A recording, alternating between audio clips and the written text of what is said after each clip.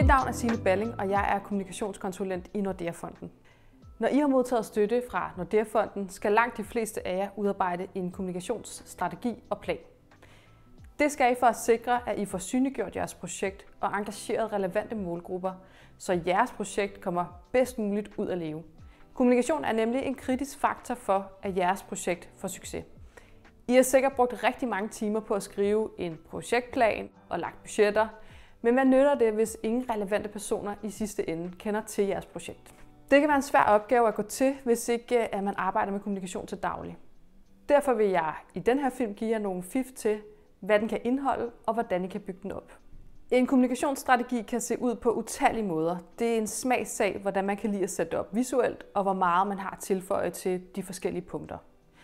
Men en god måde at sikre, at I kommer hele vejen rundt om strategien, er ved at starte med at lave en god struktur og liste de forskellige punkter op, som I gerne vil komme ind på. Den kunne fx se sådan her ud.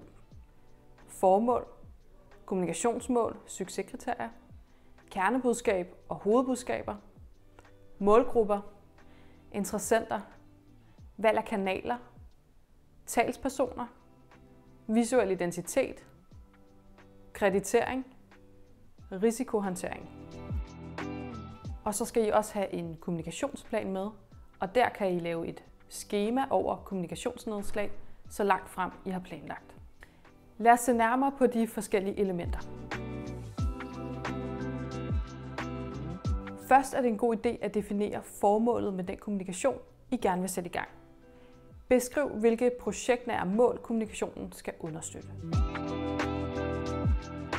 Det er en rigtig god idé at sætte nogle klare mål for kommunikationsindsatsen. På den måde har I noget konkret at sigte efter og undervejs måle på, om I er på rette vej. Det kan fx være, at I vil måle på antal personer fra jeres målgrupper, som har set kampagnematerialet, antal presseklip, eller måske antal afholdte fysiske aktiviteter. Jeres kommunikationsmål skal afspejle formålet med kommunikationen. Forsøg gerne at opstille mindst tre mål for jeres kommunikation. Hvad er den store fortælling om projektet, og hvad er projektets to-tre vigtigste budskaber til målgruppen? Et projekt kan nogle gange være ret komplekst at beskrive kort. Derfor er det et stærkt kommunikationsgreb at have kernefortællingen, altså den større fortælling om projektet og jeres hovedbudskaber helt på plads. Fortællingen den er ofte ikke længere end måske fem linjer. Og det gør jeres arbejde med at nå jeres målgrupper, skrive en pressemeddelelse, sociale medieopslag, hjemmesidetekster langt lettere.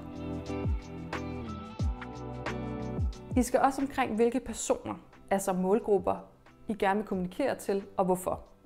Kommunikationsindsatser er nemlig kun noget værd, hvis de målrettes de målgrupper, det er relevant for. Det er derfor en vigtig del af kommunikationsarbejdet at definere, hvilke målgrupper I gerne vil nå ud til. Det kan sagtens være, at der er flere, men fokuser på de målgrupper, der er relevante for jeres projekt. I kan med fordel beskrive den interessentgruppe, som især gør sig gældende for projektets kommunikationsindsatser. Spørg jer selv, hvem vil hvad med projektet? Og bagefter kan I se på, hvordan I bedst kan involvere og håndtere deres interesser. I kan kommunikere på rigtig mange forskellige måder. Det er derfor en rigtig god idé, hvis I er konkrete omkring, hvilke kanaler I gerne vil benytte. Det kan blandt andet være jeres egne kanaler, det kan være jeres hjemmeside, sociale medier, nyhedsbreve, arrangementer. Eller det kan være gennem eksterne kanaler, såsom pressen, influencersamarbejder eller måske betalt annoncering og markedsføring. Beskriv, hvem det er, der skal udtale sig på projektets vegne. Det kan godt være, at det er flere personer, hvis projektet indeholder mange dele eller lignende. Jeres projekt skal have en visuel identitet. Det er op til jer og projektets ramme, hvor udpræget den skal være. Nogle projekter udvikler et helt univers omkring deres projekt, mens andre definerer deres visuelle identitet ud fra valg af fotos, skrifttype, farver og lignende. Det afhænger rigtig meget af projektets karakter og målsætninger. Forsøg dog altid at lave en ramme for, hvordan projektet skal se ud i forhold til valg af fotos, design, logo og lignende. Fotos er en rigtig god måde at vise projektet frem på, men I skal huske, at der skal være samtykkeerklæringer for de personer, som fremgår på billederne. I skal altid gøre det klart, hvem der er afsender på jeres projekt.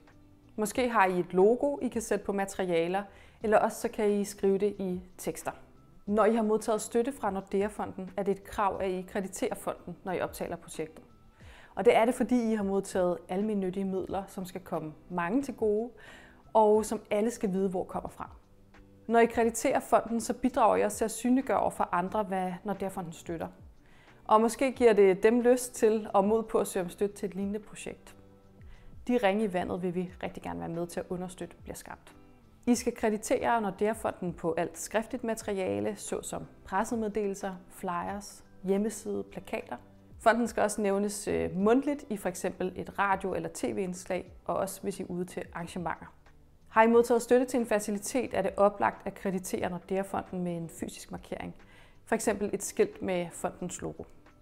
I skal lave et kort afsnit i jeres kommunikationsstrategi, hvor I beskriver, hvordan og hvornår I vil kreditere Nordea-fonden. Til sidst vil vi gerne se, at I beskriver, hvilke potentielle risici I ser i projektet og kommunikationen af det, og hvordan I vil håndtere det, både internt og eksternt. Så kom vi rundt om den strategiske ramme. Inden vi går videre til kommunikationsplanen, så vil jeg gerne lige til inspiration vise jer, hvordan to projekter har valgt at udarbejde deres kommunikationsstrategier. Jeg håber, det giver lidt inspiration.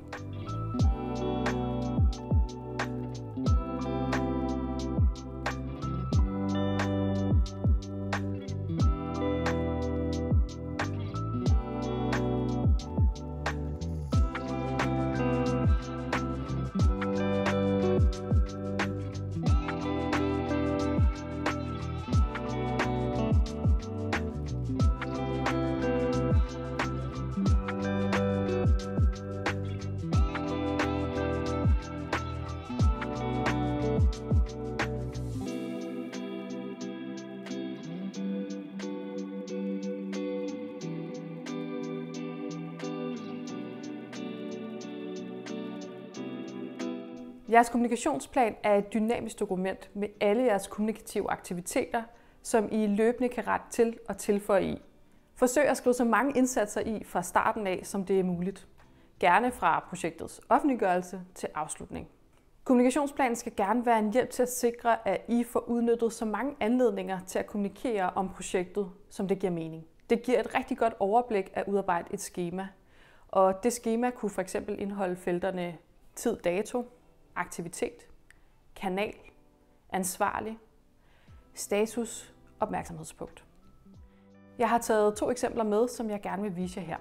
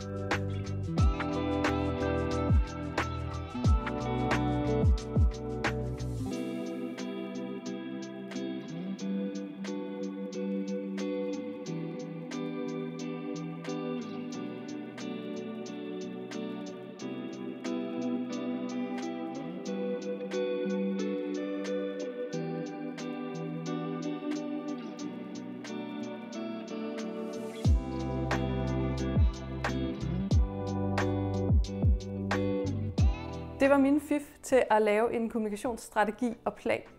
Jeg håber, det kunne bruges, og jeg håber, at I har fået mod på at udarbejde jeres egen.